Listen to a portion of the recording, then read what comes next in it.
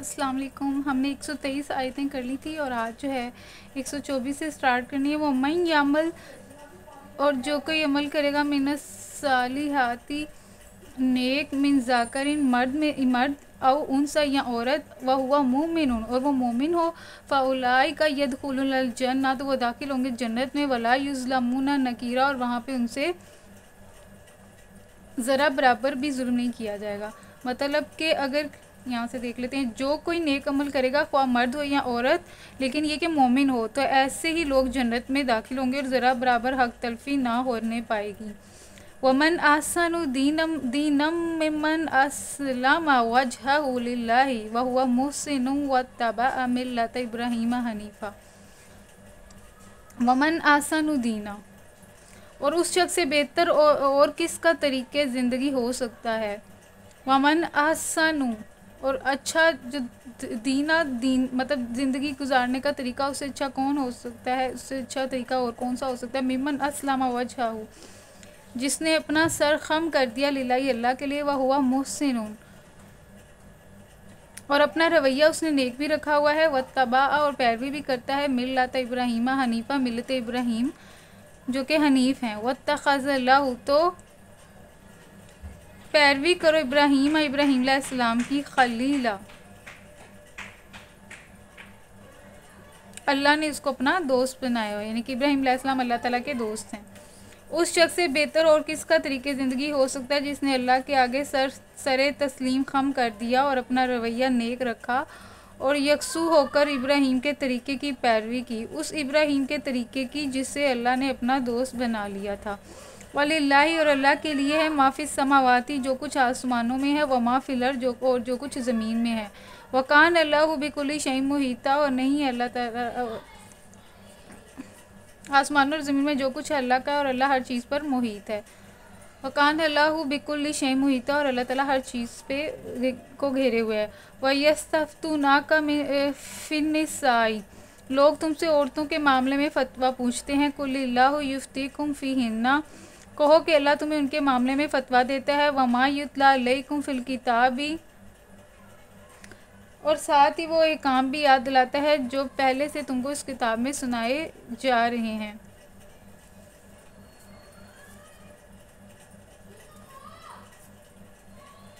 लोग तुमसे औरतों के मामले में फतवा पूछते हैं। इसके बारे में तफसीर देख लेते हैं।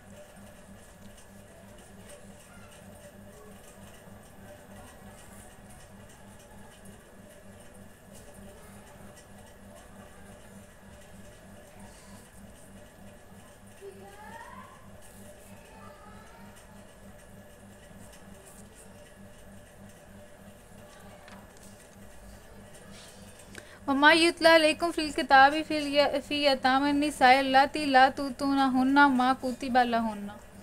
लोग तुमसे औरतों के मामले में फ़तवा पूछते हैं, कहो, अल्लाह तुम्हें इस मामले में फ़तवा देता है और साथ ही वो एक काम भी याद दिलाता है जो पहले से तुमको इस किताब में सुनाए जा रहे हैं। यानी वो एक काम जो उन यतीम लड़कियों के मुतलिक हैं, जिनके हक तुम अदा नहीं करते और जिनके निकाह करने से तुम बाज रहते हो। या लालच की बिना पर तुम खुद उनसे निकाह कर लेना चाहते हो। वो और वो ही काम जो उन बच्चों के मुतलिक हैं, जो बेचारे कोई ज़ोर नहीं रखते। अल्लाह तुम्हें हदायत करता है कि यतीमों तीमों के साथ जो है इंसाफ पर कायम रहो और जो भलाई तुम करोगे, वो वो अल्लाह के इल्म से छुपी ना रह जाएगी।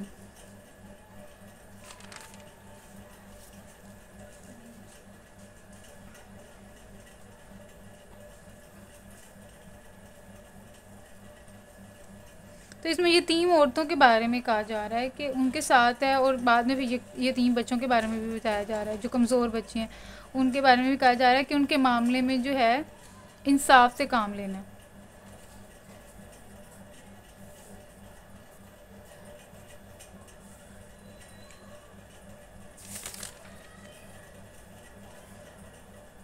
कि तुम उनसे निकाह करने की रगबत रखते हो और ये भी हो सकता है कि तुम उनसे निकाह करना पसंद नहीं करते। इससे मुराद ये है।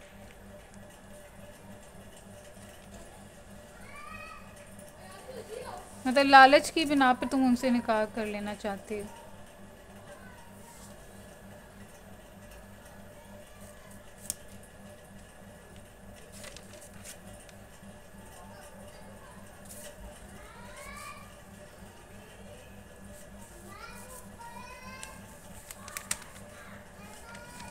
और कमज़ोर मिनल विलदानी बच्चों में से अंत कुम लियताम बिल्किस। तो इनके बारे में अल्लाह ताला ने फरमाया कि यतीमों के बारे में इंसाफ करना है।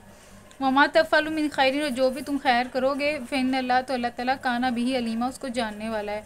वह इन इमरात खाफत मिम बालिहा अगर किसी औरत को अपने शोहर से बदसलूकी या बे, बेरुखी का ख़तरा हो तो कोई मुजायका नहीं कि मियाँ और बीवी कुछ हकूकी कमी बेशी पर आपस में सुलह कर लें। व इन व इन निम अगर कोई औरत खाफत, उसे हो के खाफत में बालिहा नूशुजन अगर किसी औरत को अपने शोहर से बदसलूकी या बेरुखी का ख़तरा हो अव इरादन या इराज का, फ़ला जुनाहा अलहिमा तो उन दोनों को कोई गुनाह नहीं। आई उसलिहा कि वो सुलह कर लें बैना हुमा आपस में सुलहन सुलह। व सुलह खैर और सुलह बेहतर है।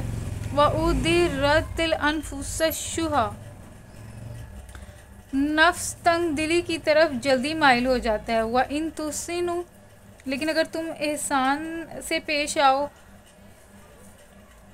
व तत्ता को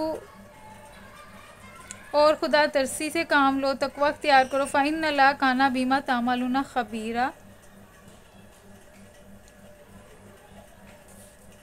तो अल्लाह ताला तुम्हारे उस तर्ज अमल से बेखबर ना होगा। इसके बारे में यानी तलाक और जुदाई से, तलाक और जुदाई से बेहतर है कि इस तरह बाहम में मुसालिहत करके एक औरत उसी शोहर के साथ रहे जिसके साथ वो उम्र का एक हिस्सा गुजार चुकी है।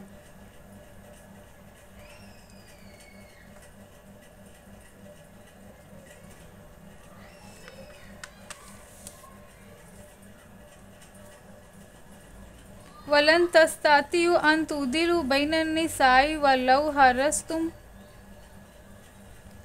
तो बीवियों के दरमियान पूरा पूरा अदल करना तुम्हारे बस में नहीं। वलन तस्ताती अंत तादिल, कि तुम अदल करो बैन निसाई औरतों के बारे में। व लव हरस तुम अगर चाहे तुम चाहते भी हो। फला तमील हो लेकिन तुम जो है, झुक जाओगे। लिहाजा एक बीवी की तरफ़ इस तरह ना झुक जाओ कि दूसरी को उधर लटक, लटकता छोड़ दो। फला तामिलू तो ना तुम छोड़ो कुल्ल मैली फ़ताजुरूहा कल मुअल्ला का। तो लिहाजा एक बीवी की तरफ़ इस तरफ़, इस तरह ना झुक जाओ कि दूसरी को उधर लटकता छोड़ दो। वह इन तुसली हो, और लेकिन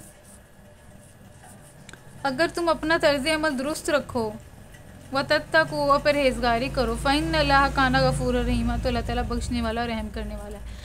यानी इन पूरी आयात के अंदर जो है ना इंसाफ का हुक्म दिया गया। अगर एक से ज़्यादा जो है बीवियाँ हैं तो उनके साथ जो है अदल करना है। तो उसमें भी बताया जा रहा है कि मुश्किल होता है कि मुकम्मल तौर पर बंदा अदल करे लेकिन यह है कि इस तरीके से लेकिन इतना भी ज़्यादा बेखबर ना हो कि एक की तरफ़ ज़्यादा झुकाव हो जाए और दूसरी जो है वो बिल्कुल ही उस, उसे बेपरवाही की जाए।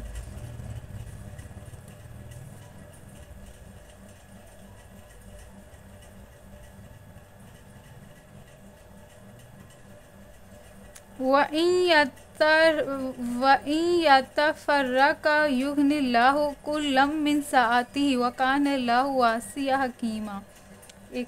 है। अगर तुम अपने तर्ज अमल को दुरुस्त रखो और अल्लाह से डरते रहो तो अल्लाह चश्म पोशी करने वाला और रहम करने वाला है।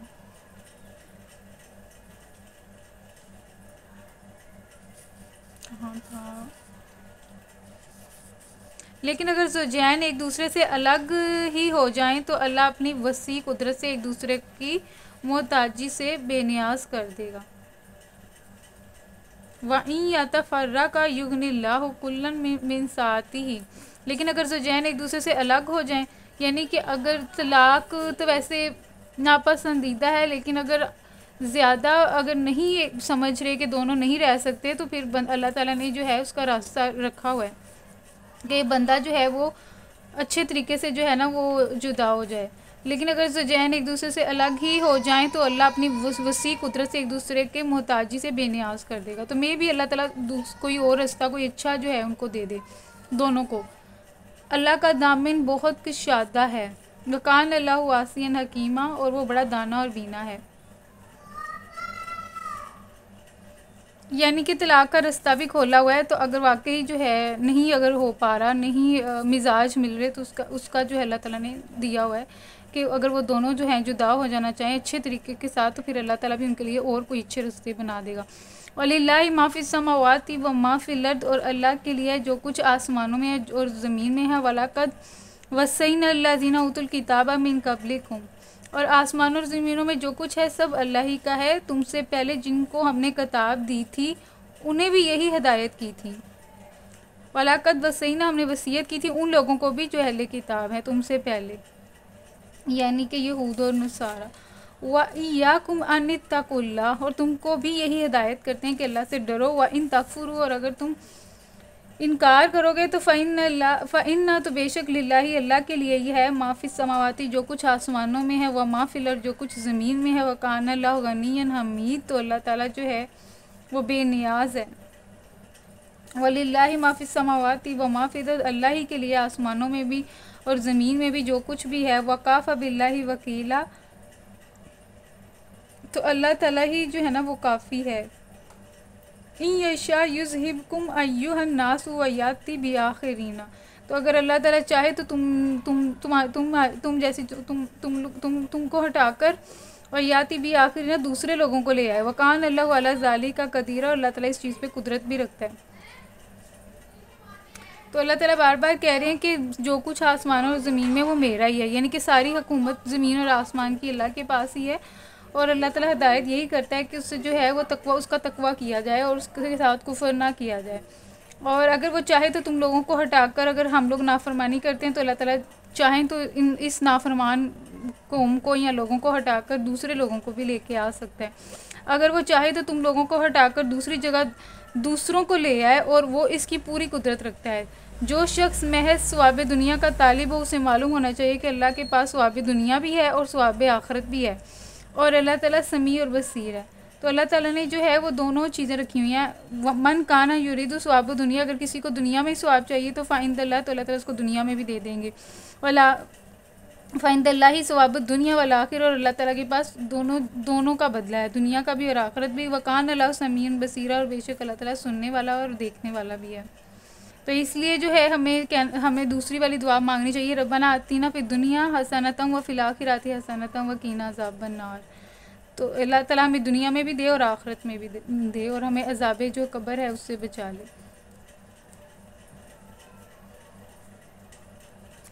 वन थर्टी फोर यहाँ पे हमारा रुकू हो जाता है तो फिर आगे से हम जो है ना वो स्टार्ट करेंगे।